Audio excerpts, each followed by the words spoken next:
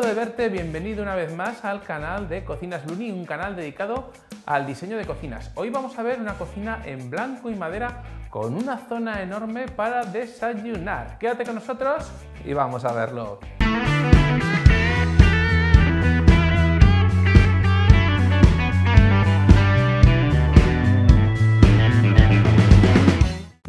Cocina tenemos dos grandes zonas. La primera zona, que es la zona propiamente dicha de cocina, es la bancada de cocina donde tenemos el fregadero y donde tenemos la placa de cocción. Y luego en la pared de enfrente tenemos la zona de desayuno que se ha hecho a juego de la bancada principal. ¿Qué tenemos en la bancada principal? Tenemos un mueble columna, es un mueble columna escobero para guardar el cepillo, para guardar la fregona y para guardar todo lo que quieras de guardar relacionado con limpieza. Es un mueble de apertura push y además lleva una tapeta para salvaguardar esa jacena que tenemos en la cocina que había que incorporar al mueble y que quedase lo mejor posible porque no podíamos eliminarla. Luego tenemos un columna de horno micro. Estas columnas de horno micro generalmente también nos van a hacer push. Tú empujas de la puerta y se abre. Y el cajón es un cajón también push. Ese cajón push es un cajón que lleva el push en la propia guía, de manera que tú empujas con el tobillo y se abre, pero tienes que empujar abajo. Y a la hora de cerrarlo, tú lo lanzas y rebotas si lo lanzas con suavidad y si lo lanzas con más fuerza, se cierra y se recoge y se carga automáticamente. Y luego tenemos nuestra bancada principal, donde tenemos un zócalo y una gola que como tantas veces no es un tirador uñero, sino un perfil de aluminio que va no en la puerta, sino que va en el armazón del mueble. Entonces esta gola es en color antracita, igual que el zócalo, igual que veremos luego son la pata de la península de la zona de comer.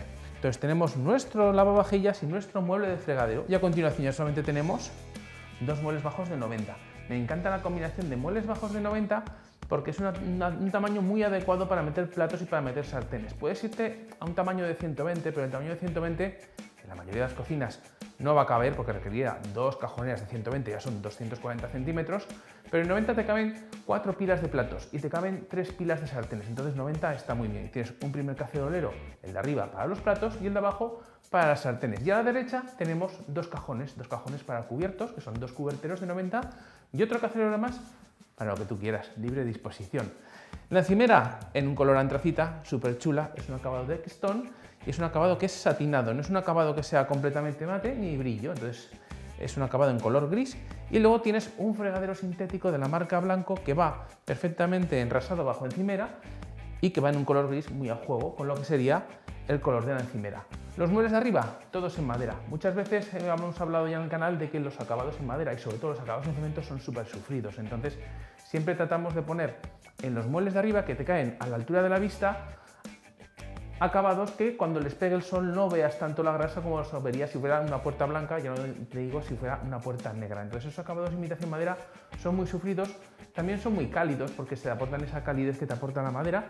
Y en el caso de los cementos, pues según lo que pongas también, no tenemos que pensar en cemento gris, que es lo que pensaríamos normalmente, pero tenemos también acabados en cemento que puede ser un cemento arena, por ejemplo, que es mi favorito, porque es cálido, tiene manchas de cemento, tiene manchas de brillo, entonces es cálido y es sufrido y no tienes que tener tanta madera en la cocina. En este caso, pues bueno, tenemos una parte importante de madera que queda muy chula, que además imita un entablillado y que tiene su encimera juego en la zona de desayuno. Entonces, si vamos ya a la zona de desayuno, vamos a ver cómo está distribuida.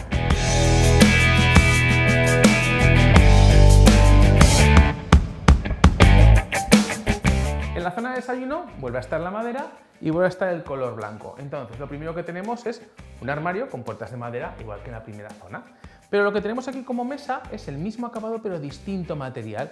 Las puertas de los muebles no son fregables con estropajo, de hecho es un material delicado entre comillas, en el sentido de que no puedes salir de productos químicos abrasivos, ni puedes salir con firing, ni con estropajo, ni frotar, mientras que esto que tenemos aquí es el mismo dibujo, pero es una encimera laminada. Entonces, esta pieza de aquí es una encimera laminada de 90 de ancho por 140 de largo, perfecta para comer cuatro personas. No requiere mantel porque es una encimera.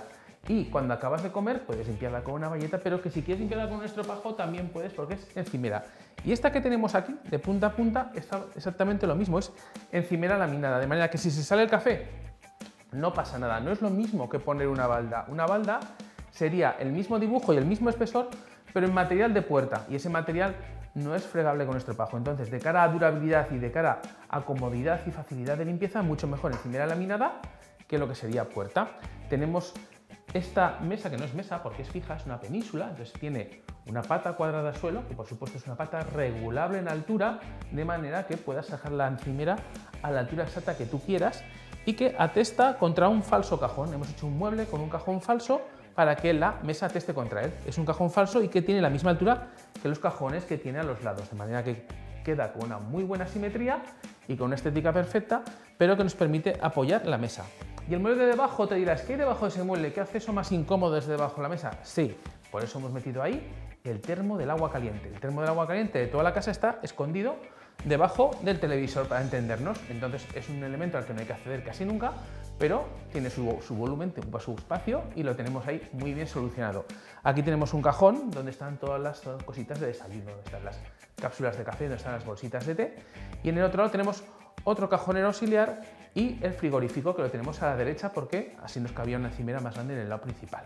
Y luego tenemos toda la parte de arriba. Entonces la parte de arriba se compone de un mueble decorativo en chapa metálica.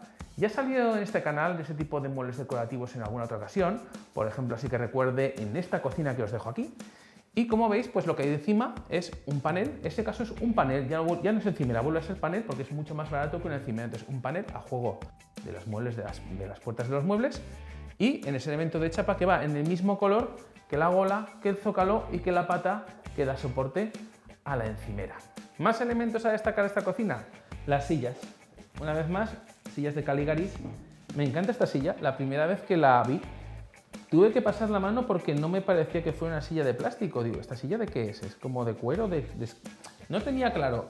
Tuve que pasar la mano porque la ves y no parece una silla, una silla barata de plástico. Entonces es una silla que si te fijas es súper flexible. Entonces es muy importante que la silla sea flexible para que cuando adoptamos posturas que no son correctas y que no se deben adoptar, pues bueno, la silla flexible, la silla flexible siempre va a ser más resistente, mientras que hay otras sillas como más rígidas, que el material con el que están hechas es más barato, pero es más rígido. Entonces tienden más a partirse, tanto desde el primer momento, si haces si posturas que fuerzas mucho la estructura de la silla, como a largo plazo porque el material se endurece más y parte fácil en cuanto fuerzas un poco la estructura.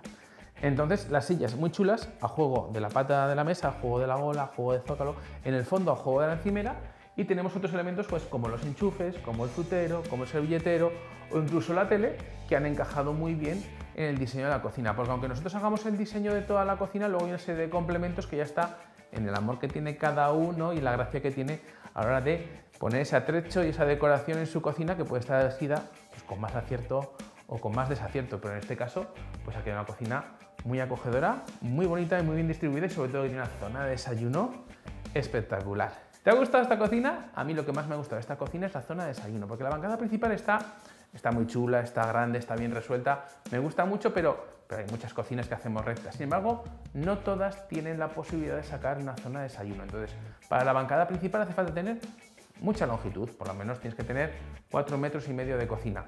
Y para lo que es la zona de desayuno necesitas anchura de cocina, entonces eso eh, pocas veces se tiene tanta anchura de cocina. Claro, evidentemente si, tienes una cocina larga y que además tiene anchura, tenemos una cocina que tiene metros cuadrados, entonces es una cocina que tiene aproximadamente 14 metros cuadrados. Entonces en 14 metros cuadrados sí que te sale una buena longitud de cocina principal, de bancada principal y una zona de desayuno tan chula como esta. ¿De qué me gusta esta zona de desayuno? Me gusta su tamaño, me gusta sobre todo el diseño de la parte de arriba y me gusta también la pata de la mesa que va toda a mismo color que lo que sería la gola y lo que serían los zócalos. Entonces, coméntanos, coméntanos en comentarios a ver si tú tienes zona de desayuno de tu cocina, cómo la tienes hecha, si es solamente un armario con las zonas de, con las cositas de cocinar, o tienes ya una barrita, o tienes una mesa.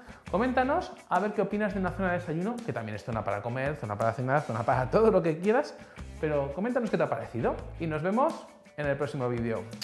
Chao, chao, hasta la próxima.